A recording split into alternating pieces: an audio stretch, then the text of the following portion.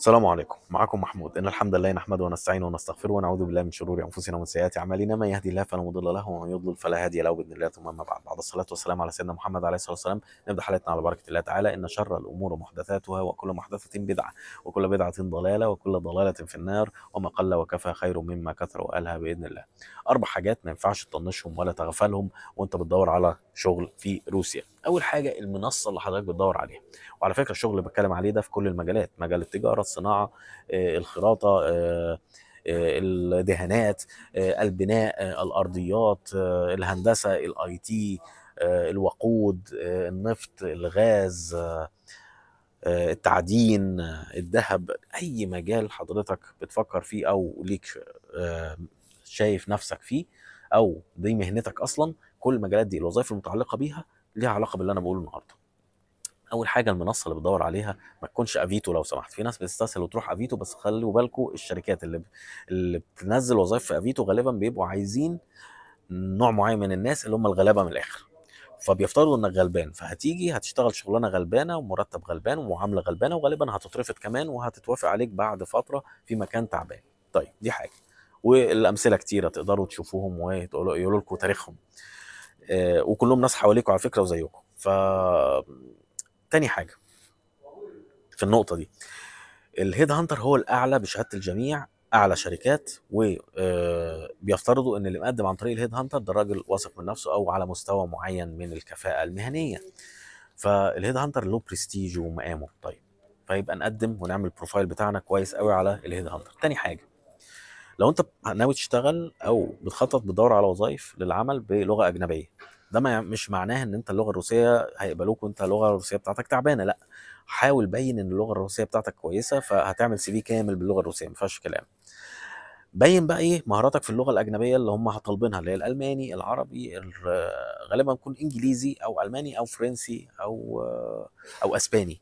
فحضرتك بتبين في ال CV وبتعمل cover letter letter ال cover letter ده ممكن تعمله باللغة الروسية ومترجم بالكامل بطريقتك أنت بقى كده للغة اللي هم طالبينها اللي هي الإسباني أو الفرنسي أو الإنجليزي أو ايا كان. فال cover letter لازم يبقى فيه يا إما باللغة الأجنبية بس يا إما باللغة الأجنبية والروسية. وفي ال CV في حاجات مثلا application استخدمتها دولية أو في كده باللغة الفرنسية أو بالألمانية أو بالأسباني فتكتبها باللغة الأجنبية أو بالإنجليزي. فال CV هيبقى كله بالروسي ما عدا الحاجات اللي تحتاج إنك تكتبها باللغة الأجنبية بالإنجليزي هتكتبها بالإنجليزي. زي اسم application اسم بلد اسم شركة حاجات كده. الشركات اللي اشتريت فيها اشتغلت فيها. طيب بنحاول نبين في ال cover letter ده أنا فلان وضعي في البلد إيه معايا جنسية أو معايا إقامة مؤقتة أو دائمة آه، ساكن في موسكو مثلا بقالي سنة ونص آه، آه، بشتغل اشتغلت الأول في مجال كذا في شركة كذا وأثبتت كفاءة بس الشركة قفلت مثلا فأنا دلوقتي باحث عن عمل. وتقول مهاراتك بقى التكنولوجية أنا بشتغل على كذا وكذا وكذا اشتغلت في مشاريع مثلا تركيب أسقف تكييفات تدفئة أرضيات حسب مجال اللي أنت حضرتك اشتغلت فيه وبتكتبها بلغة كويسة وبترجعها بقى على ال websites وال translator والكلام ده. طيب دي حاجة. فيبقى كده إيه ظبطنا ال CV باللغة. طيب إحنا رايحين بقى إيه ال interview هل أتمنظر بلغتي قدام ال interview الأول بتاع ال HR لا في ال HR غالبا ما بيختبركش في اللغة. اختبار اللغة ممكن يبقى oral أو حاجة أو آه، الشخص اللي هو ال team leader هو اللي هيجي يختبرك في اللغة. فما تحاولش تتمنظر باللغة الإنجليزية أو اللغة الأجنبية قدام موظفة ال HR لأن غالبا هي ما بتعرفش اللغة دي. نيجي للحاجة الثالثه اللغة الروسية. إزاي آه، إن أنا أبقى لغتي؟ هما اولا الشركة عارفة إنك أجنبي عارفين لغتك الروسية مش أصلية عارفين إن أنت هيبقى عندك بعض الأخطاء. بس هم متصورين إن أنت ما دام وصلت للمرحلة دي وجبناك هنا في ال interview يبقى مستواك في اللغة الروسية ما نزلش عن مستوى معين. أوكي؟ فما خليهم عند حسن آه، خليك عند حسن ظنهم بقدر الإمكان. يعني إيه؟ في في فيديوهات على اليوتيوب آه، بتبين لك ال- الإجابات المثلى في أما يبقى عندك interview أو مقابلة شخصية للعمل في الشركات الروسية. الأفضل نجاوب إيه أما نتسأل إيه؟ أما تيجي تعبر عن نفسك يستحسن تقولها إزاي؟ هتلاقي جمل كتيرة حضرتك ما استخدمتهاش قبل كده وما تعرفهاش. فاحفظها وحتى انطقها زيهم بالظبط عشان ال accent بتفرق قوي الطبيعة البشرية بتقيم اللغة اللي بيسمعوها بعدد الأخطاء للأسف. مش بقد إيه أنت اتكلمت. أنت ممكن تتكلم تلت ساعة وتقول كلام جامد جدا و... ومبهر بالنسبة لهم ولكن في النص قلت 12 غلطة. في النهايات كده في النطق. فيقول لك آه بس ما نت... هو كويس وممتاز بس اللغة الروسيه بتاعته 12 غلطة كتير. بينما واحد تاني غيرك قاعد يتكلم خمس دقايق ولا دقيقتين حتى وقال غلطة واحدة. فبالنسبة لهم هو أحسن منك لأن ما سمعوش منه أخطاء أكتر من واحدة فيقول لك يبقى كده نجح. فما قل ودل وجمل محفوظة وتتدرب عليها كذا مرة. وأما بيجي يكلمك يقول لك عايزينك ل interview في التليفون تقول لهم معلش آه هيقول لك عايزينك بكرة قول لهم معلش بكرة مشغول ممكن بعد أربع أيام حاول في المتوسط خد أربع أيام راحة قبل ال interview وما تخافش ما تقلقش. رابع حاجة والأخيرة ال salary. بيبقى كتير في إعلانات وظيفة حضرتك اللي أنت عايزها واللي عارفها وبتعرف تعمل المطلوب فيها معظمه مثلا وبيدوك مثلا إيه مرتبها 60000 روبل في شركة صغيرة. في شركة تانية فوق المتوسط بشوية ولا كبيرة هتدي 120000 روبل أو 130000 روبل على نفس الوظيفة ونفس المتطلبات.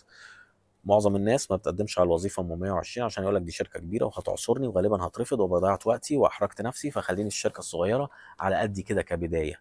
وده خطأ كبير.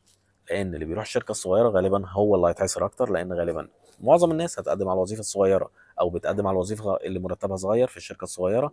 فبيعصروه 10 عشان ياخدوا منهم واحد بس يشتغل في البوزيشن لكن غالبا الشركة الكبيرة عايزة اثنين أو ثلاثة واللي متقدمين على الوظيفة خمسة أو ستة.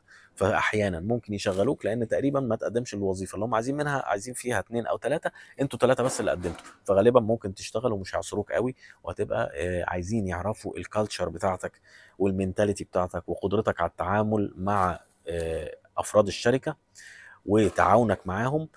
أكتر من قدراتك التكنيكالية لأن بيقول لك كله بيتدرب عندنا وكله بيت... هتتعلمه عندنا. ولكن المهم إن حضرتك عندك قدرة على التعلم والتناغم مع مجتمع الشركة المحترمة اللي إحنا فيها ولا لأ؟ ده ال HR بتاع الشركات الكبيرة أو اللي فوق المتوسطه لكن تحت المتوسطة والتعبانين ما يهموش الحاجات دي. أهم حاجة يعمل الحاجات دي. آخر حاجة أحب أقولها لك اوعى تشتغل يونيفرسال يعني إيه؟ في انجينير كده يونيفرسال اللي هو بيعمل كل حاجة.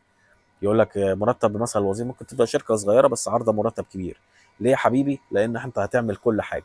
هتمسح وتكنس وتطبخ وتلمع وتنادي على الزباين وتطبطب على الزباين وتحاسب الزباين وتقفل الحسابات آخر اليوم.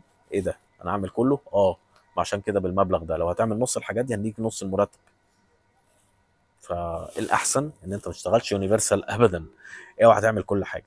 خليك في حاجة متخصصة وفي شركة كبيرة وفي المرتب الأعلى لأن غالبا هو ده مكانك. وهو ده الشجعان والأبطال اللي ما بيقدمش على الوظائف العالية دي إلا ناس قليلة للأسف. فحط نفسك في المكان الصح. دي نصيحة أخوك ونصيحة مجرب. فما تغفلهاش لو سمحت.